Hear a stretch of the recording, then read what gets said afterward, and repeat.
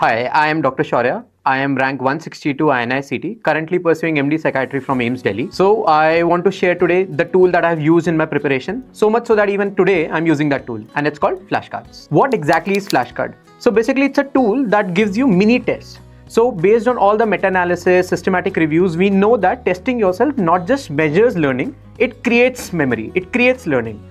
What flashcard does is it integrates two methods. It, uh, it adds spaced repetition with active recall. So now we will understand what active recall is. So to understand active recall, let's start with passive recall. What passive recall is? So suppose if I tell you in treatment-resistant schizophrenia, the drug of choice is clozapine. This is a passive recall. I've given you information, you have learned it. Now when I ask you, what is the drug of choice in treatment-resistant schizophrenia? And I give you a time to think.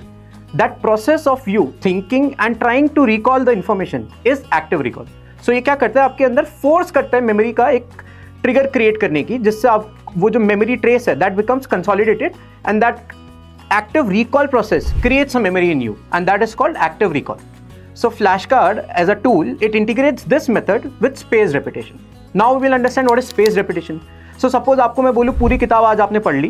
Can you recall this in two days you can probably Can you recall this in two weeks? You may not be. And can you recall it in two months? Most of you will not be able to recall as it is. So what spaced repetition does is it distributes those memory traces into your learning and forgetting curve.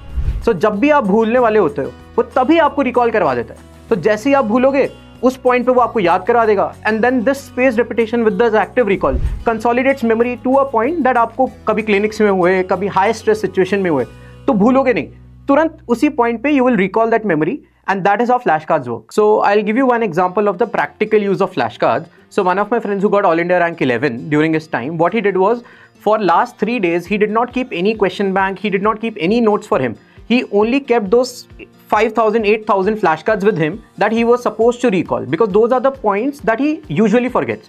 So he wanted those key points to be remembered just before the exam. So in the last three days, he set those flashcards and revised all those three uh, 5,000 to 8,000 flashcards in three days and on an uh, in an automated mode so that he could revise all those key points and not forget it. And well, the result was out there and he got a good rank.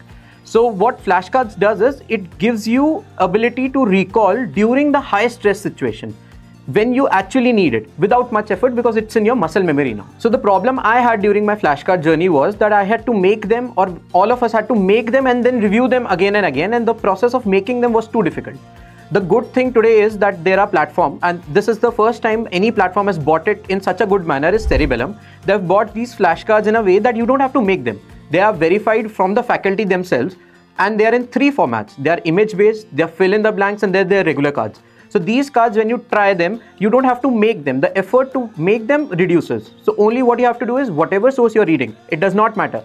You just come here, revise them and consolidate these information in your memory. So the added features are, like I said, there are three types of cards available.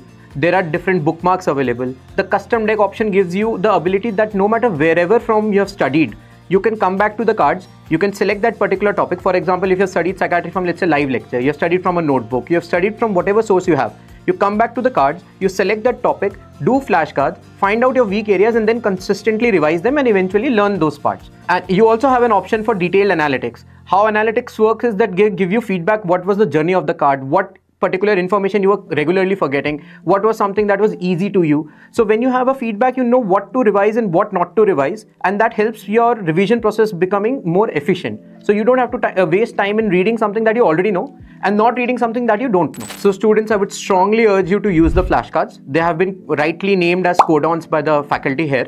I would urge you to use this process and of revision and the new era of revision so that you can rem uh, remember things which you tend to forget and not forget information that is very very important for you. I would want you to go today and subscribe at least try it for once and then make this a habit of revision and also you can uh, also use the coupon code Dr. Shaurya while subscribing for the flashcards. This will give you some discounts as well. All the best for exams.